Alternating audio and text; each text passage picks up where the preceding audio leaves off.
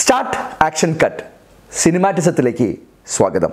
ദിലീപ് കുമാർ എന്ന അതുല്യ പ്രതിഭയുടെ ഓർമ്മയ്ക്ക് മുമ്പിൽ രക്തപുഷ്പങ്ങൾ അർപ്പിച്ചുകൊണ്ട് നമുക്ക് ഈ എപ്പിസോഡ് തുടങ്ങാം. ലാ വിറ്റ ഈ ബെല്ല. ലൈഫ് ഈസ് ബ്യൂട്ടിഫുൾ ആയിരത്തി തൊള്ളായിരത്തി തൊണ്ണൂറ്റി ഏഴിൽ റോബോട്ടോ ബെനീനി സംവിധാനം ചെയ്ത് പുറത്തിറക്കിയ ഇറ്റാലിയൻ സിനിമയുടെ കഥയാണ് ഈ പ്രാവശ്യം സിനിമാറ്റിസത്തിലൂടെ ഞങ്ങൾ പറയുന്നത്. Meet a real life Prince Charming. He has met the woman of his dreams, and he'll do everything in his power to sweep her off her feet and carry her away. Written, directed by, and starring Italy's national treasure, Roberto Benini, in the story that proves love, family, and imagination conquer all. Life is beautiful. ഗേഡോ ഒരിഫൈസ് എന്ന യുവാവ് തന്റെ സുഹൃത്തിനോടൊപ്പം ഒരു കാറിൽ അരീസോ നഗരത്തിലേക്ക് പോകുന്ന രംഗത്തിലാണ് cinema ആരംഭിക്കുന്നത് ആയിരത്തി തൊള്ളായിരത്തി മുപ്പത്തി ഒമ്പതിൽ അതായത് രണ്ടാം ലോക മഹായുദ്ധത്തിന്റെ ആരംഭ കാലഘട്ടത്തിൽ Seeing what I see, nothing gets by me. Here I am, said I.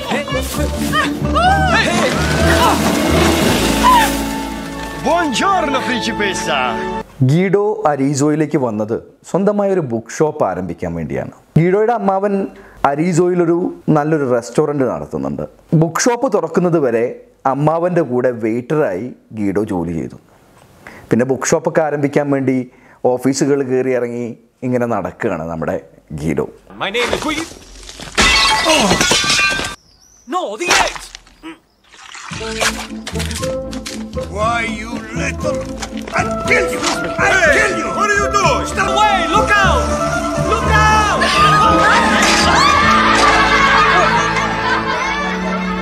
hey, buongiorno, principessa! ഇങ്ങനെ യാദൃശികമായിട്ടുള്ള മീറ്റിങ്ങുകൾ അല്ലെങ്കിൽ കണ്ടുമുട്ടലുകൾ പിന്നീട് വളരെ പ്ലാൻഡ് ആയിട്ടുള്ള യാദൃശികതയായിട്ട് ഗീഡോ മാറ്റുന്നുണ്ട് അങ്ങനെ ഇരിക്കുമ്പോഴാണ് ഗീഡോ വർക്ക് ചെയ്യുന്ന റെസ്റ്റോറന്റിൽ ഒരു ഇൻസ്പെക്ടർ ഈ നമ്മുടെ നായിക വർക്ക് ചെയ്യുന്ന ഒരു സ്കൂളിലാണ്. അപ്പോൾ നായിക വർക്ക് ചെയ്യുന്ന സ്കൂളിലേക്ക് ഒരു ഇൻസ്പെക്ഷന് പോകുന്ന റോമിൽ നിന്ന് വന്നിട്ടുള്ളൊരു ഇൻസ്പെക്ടർ അവിടെ ഭക്ഷണം കഴിക്കാൻ വരുന്നത്. ഇയാളുടെ ഐഡന്റിറ്റി ഉപയോഗിച്ചുകൊണ്ട് ഡോറ വർക്ക് ചെയ്യുന്ന സ്കൂളിലേക്ക് ഗീഡോ പോകുന്നുണ്ട്. നർമ്മത്തിലാണെങ്കിൽ പോലും ഗീഡോ ഒരു കാര്യം പറഞ്ഞു വെക്കുന്നുണ്ട്. അത് കണ്ടറിയേണ്ട രംഗം തന്നെയാണ്. Dagli scienziati razzisti italiani a ciò che dimostrarvi quanto la nostra razza sia superiore. Perché bambini eh, hanno scelto me? Ma dico perfezione di questo orecchio. Padiglione auricolare sinistro con campanula pendente finale. Guardate che roba! Car- L'ombelico! Guardate che bello ombelico! Che nodo! Italiana, io vi saluto, arrivederci l'ombelico! Principessa, ci vediamo a Venezia.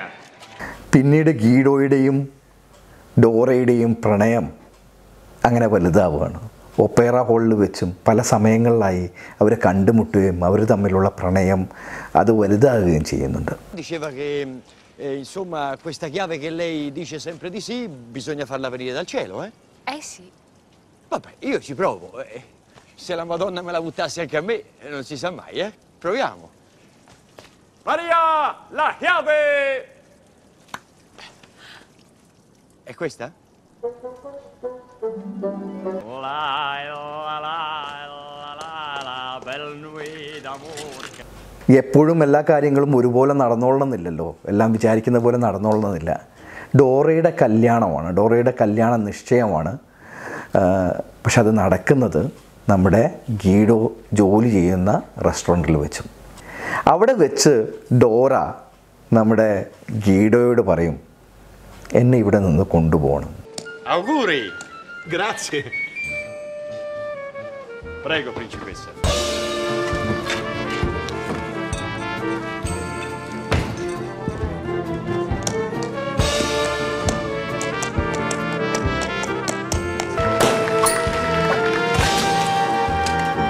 Quello è lo scemo delle uova! കുതിരയിൽ അവർ നേരെ എത്തുന്നത് അമ്മാവന്റെ വീട്ടിലേക്കാണ്.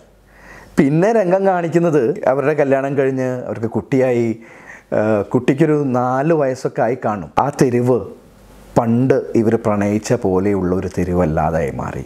തെരുവിന്റെ സൈഡിലൂടെ അല്ലെങ്കിൽ അരികിലൂടെ March ചെയ്തു നിന്ന് പട്ടാളക്കാരും ഒക്കെ ആയി. അപകടത്തിന്റെ സൂചന പോലെ വേറെ തന്നെ ഒരു രൂപമായി ആ തെരുവ് മാറിക്കഴിഞ്ഞിരുന്നു! Oh,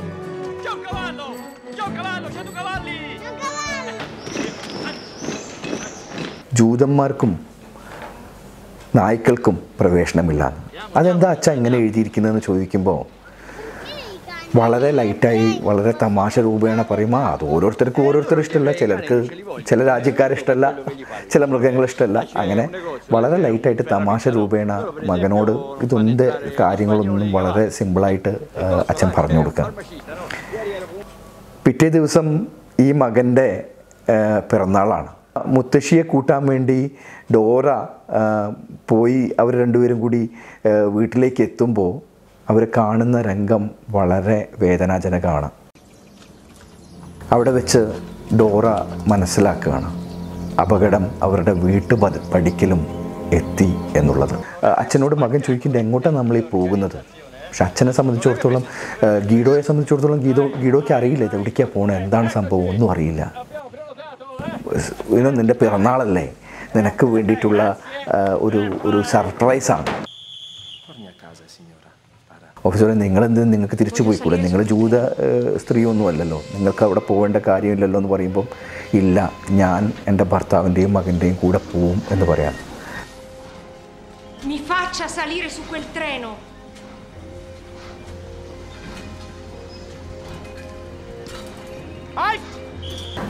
ആ തീവണ്ടി ചെന്ന് നിൽക്കുന്നത് ഒരു വലിയ കോൺസെൻട്രേഷൻ ക്യാമ്പിലേക്കാണ് സ്റ്റേഷനിലേക്കും അല്ലെങ്കിൽ ഈ കോൺസെൻട്രേഷൻ ക്യാമ്പിലേക്കും ഒക്കെ ട്രീ- തീവണ്ടിയിലേക്കൊക്കെ പോകുന്ന സമയത്തും മകനോട് അച്ഛൻ പറഞ്ഞത് ഇതൊരു കളിയാണ് എന്നാണ്.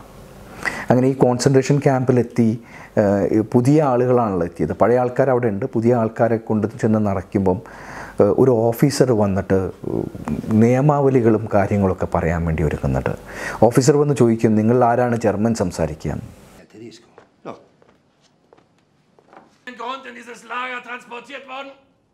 Si vince a mille punti. Il primo classificato vince un carro armato, vero? Um zu arbeiten. Beato lui. Jeder Versuch der Sabotage wird mit dem sofortigen Tode bestraft. Die Hinrichtungen finden auf dem Hof durch Schüsse in den Rücken statt. Ogni giorno vi daremo la classifica generale da quell'altoparlante là. All'ultimo classificato verrà attaccato un cartello con su scritto Asino, qui, sulla schiena. Ihr habt die Ehre für unser großes Deutsch. Versuche nicht zu fliehen. Zweitens, folge jedem Befehl ohne Fragen. Drittens, jeder Versuch eines Aufstandes wird mit dem Tod durch Erhängen bestraft. Ist das klar? In tre casi si perdono tutti i punti. Li perdono uno, quelli che si mettono a piangere. Due, quelli che vogliono vedere la mamma. Tre, quelli che hanno fame e vogliono la merendina. Scordatevela! Alles raus auf den Hof, aber schnell! Ah, non chiedete i lecca lecca perché non ve li danno. Ce li mangiamo tutti noi. Antreten in Zweierreihe! Io ieri ne ho mangiati 20. Schweigt! Ma... ആ അവസ്ഥയിലും മകനോട് കളിയും പോയിന്റും കാര്യങ്ങളൊക്കെ പറഞ്ഞിട്ട് ഈ അച്ഛൻ മകനെ വിശ്വസിപ്പിക്കുകയാണ്. ഇതൊരു കളിയാണെന്നുള്ളത്. കളിക്കുള്ള സമ്മാനം നേരത്തെ പറഞ്ഞതുപോലെ ഒരു വലിയ ടാങ്കാണ് ഒറിജിനൽ ടാങ്കാണ്. ആയിരം പോയിന്റ് ലഭിക്കണമെന്നും നേരത്തെ നമ്മൾ പറയുന്നുണ്ട്. അപ്പോഴും അയാളുടെ മനസ്സിന്റെ അകത്ത് ഒരു വലിയ നീറ്റലാണ്. ഇതെല്ലാം തമാശയിലൂടെ കാര്യങ്ങൾ പറയുമ്പോഴും വളരെ കൃത്യമായിട്ടുള്ള കാര്യങ്ങളാണ് വളരെ ബുദ്ധിമുട്ടിക്കുന്ന കാര്യങ്ങളാണ് സിനിമ നമുക്ക് പറഞ്ഞു തരുന്നത്. യുദ്ധം കൊടുമ്പിരി കൊണ്ട് നടക്കുകയാണ് എന്നുള്ള വിവരം ഇയാൾക്ക് ലഭിക്കും. അപ്പോൾ ഇയാൾ നോക്കുമ്പോൾ കുറേ ആളുകളെ ഇവർ വണ്ടിയിൽ കയറ്റിയിട്ട് ഈ നാസി പട്ടാളക്കാർ വണ്ടിയിൽ കയറ്റി കൊണ്ടുപോകുന്നുണ്ട്. അപ്പം സുഹൃത്ത് പറഞ്ഞു കൊടുക്കും ഈ വണ്ടി കയറ്റി പോ കൊണ്ടുപോകുന്ന എനിക്ക് തോന്നുന്നത് ഇവർ ഇവിടെ നിന്ന് ഈ പട്ടാള ക്യാമ്പ് മാറ്റുകയും വണ്ടിയിൽ കയറ്റി കൊണ്ടുപോകുന്നവർ മിക്കവാറും പേരെ കൊല്ലുകയാണ് ചെയ്യുന്നതും എന്ന് ഈ ഗീഡോയ്ക്ക് അറിയാൻ കഴിയും. ഇത് കേട്ട പാടെ ഗീഡോ മകനെയും കൊണ്ട് പുറത്തിറങ്ങുകയാണ്. മകനോട് പറയും ഇത് നമ്മുടെ അവസാനത്തെ കളിയാണ്. നമുക്ക് ഏകദേശം നമ്മുടെ ജയത്തിലേക്ക് വളരെ അടുത്തെത്തിയിട്ടുണ്ട്. നമുക്കിനി കുറച്ച് പോയിന്റ് കൂടി മതി. അറുപത് പോയിന്റ് കൂടി മതി എന്നാണ് പറയുന്നത്. ഈ അറുപത് പോയിന്റ് നമ്മൾ നേടിക്കഴിഞ്ഞാൽ നമുക്ക് ടാങ്ക് കിട്ടും എന്ന് പറയാണ്. എന്നിട്ട് മകനെ കൊണ്ട് പട്ടാളക്കാരൊന്നും കാണാത്ത രീതിയിൽ ഒളിച്ചിരിക്കണമല്ലോ കാരണം കണ്ടു പോയാൽ ഇവർ കൊണ്ടുപോകും. ഇവർ കൊണ്ടുപോയിട്ട് കൊല്ലും. അപ്പം മകനെ ആദ്യം ഒളിപ്പിക്കാൻ ഇയാൾ തീരുമാനിക്കുകയാണ്. മകനെ കൊണ്ടുപോയിട്ടൊരു ഒരു പെട്ടിക്കകത്ത് ഒരു ഗാർബേജ് ബിന്നെ പോലത്തെ ഒരു പെട്ടിക്കകത്ത് മകനെ ഒളിപ്പിക്കുകയാണ്. എന്നിട്ട് മകനോട് പറയും എന്ത് തന്നെ വന്നാലും നീ ഇവിടുന്ന് അനങ്ങരുത്. നമുക്ക് ഈ അറുപത് പോയിന്റ് നേടിയെടുക്കണം. മോനെ ഞാൻ ഇനിയിപ്പോൾ വന്നില്ലെങ്കിലും ഞാൻ വൈകിപ്പോയാലും പുറത്ത് വളരെ ശാന്തമായതിനു ശേഷം എല്ലാം എല്ലാ ശബ്ദങ്ങളും അവസാനിച്ചതിന് ശേഷം മാത്രമേ ഇനി പുറത്തിറങ്ങാൻ പാടുള്ളൂ. അങ്ങനെയാണെങ്കിലേ നമുക്ക് ടാങ്ക് കിട്ടൂ. ഇയാൾ വനിതകളുടെ സെല്ലിന്റെ അവിടെ പോകണം അവിടെ ഭാര്യ ഉണ്ടല്ലോ അവളെയും മരണത്തിൽ നിന്ന് രക്ഷിക്കണമല്ലോ. അങ്ങനെ അയാൾ പോവുകയാണ് അപ്പോൾ അവിടെ ഒരു വണ്ടിയിൽ കുറേ സ്ത്രീകളെ ഇതുപോലെ കൊണ്ടുപോകുന്നുണ്ട്. അവിടെ പോയിട്ട് ഇയാൾ ചോദിക്കും ആരെങ്കിലും ഉണ്ടോ? ഡോറ എന്ന് പറഞ്ഞിട്ട് ആരെങ്കിലും ഉണ്ടോ? അപ്പോൾ ഒരു ഡോറയുണ്ട്. ആ ഡോറ പക്ഷേ ഇയാളുടെ ഡോറയല്ല. അങ്ങനെ ഇയാൾ അന്വേഷിച്ച് നടക്കുന്നത് അന്വേഷിച്ച് നടക്കുന്നതിനിടയ്ക്ക്!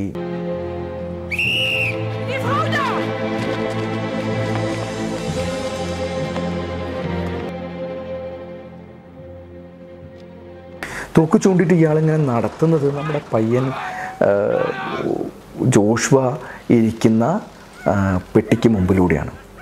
അവിടെ എത്തുമ്പോൾ ഇയാൾ ഇയാളുടെ മനസ്സിൽ ഇയാൾക്കറിയാം ഈ കൊണ്ടുപോകുന്നത് ഇയാളെ കൊല്ലാനാണെന്നോ അല്ലെങ്കിൽ ഇയാളെ ഉപദ്രവിക്കാനാണെന്നോ ചുരുങ്ങിയ പക്ഷം ഇയാൾക്കറിയാം. പക്ഷേ മകന്റെ മുമ്പിലെത്തുമ്പോൾ മകനെ ടെൻഷൻ അടിപ്പിക്കരുതല്ലോ. പട്ടാളക്കാർ ഇങ്ങനെ മാർച്ച് ചെയ്യുന്ന പോലെ തമാശയൊക്കെ കാട്ടിയിട്ട് മകന്റെ മുമ്പിലൂടെ ഇയാൾ നടന്നു പോവുകയാണ് ആ മതിലിനപ്പുറത്തേക്ക് പട്ടാളക്കാരൻ ഇയാളെ കൊണ്ടുപോകും. പിന്നെ നമ്മൾ കേൾക്കുന്നത് തോക്കിന്റെ ശബ്ദമാണ് തോക്കിന്റെ വെടിയൊച്ചയാണ് നമ്മൾ കേൾക്കുന്നത്.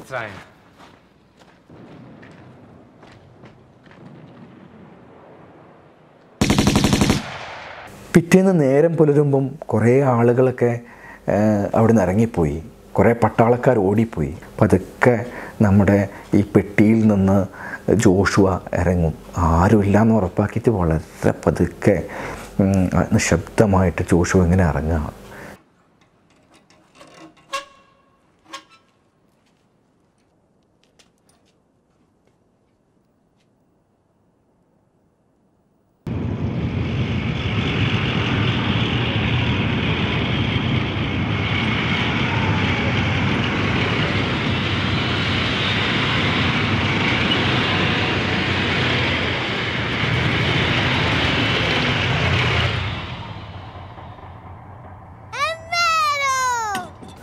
യുദ്ധം ഏതാണ്ട് അവസാനിച്ചിരിക്കുന്നു.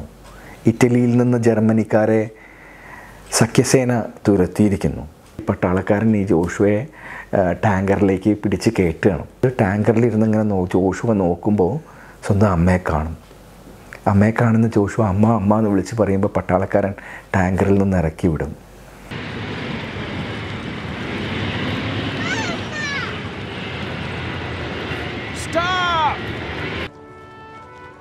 Questa è la mia storia.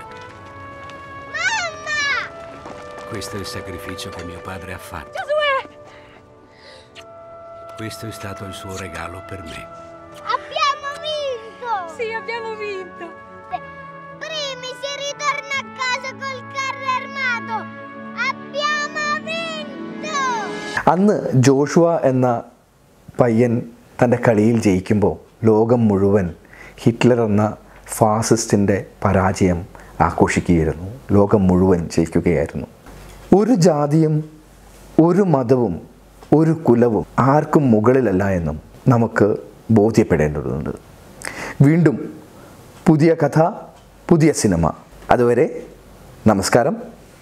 Start action കട്ടിൽ നിന്ന് സൈനിങ് ഓഫ്. യുഎസ് അജ്മൽ.